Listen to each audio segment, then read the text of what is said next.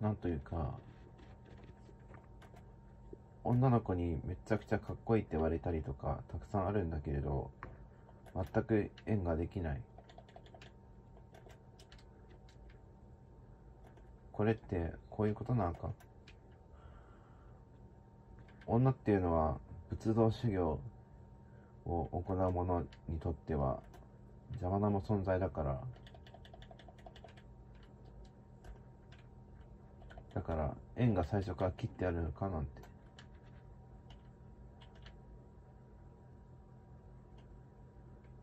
あのななんて方でしたっけ？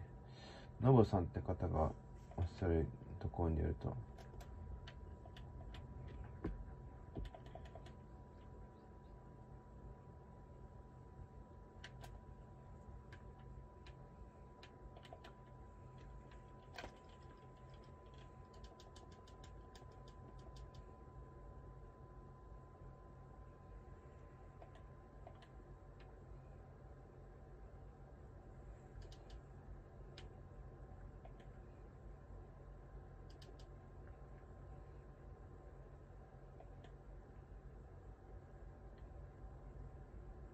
私は狭き道にいるということで、そのせいで、彼女が全くできないのか。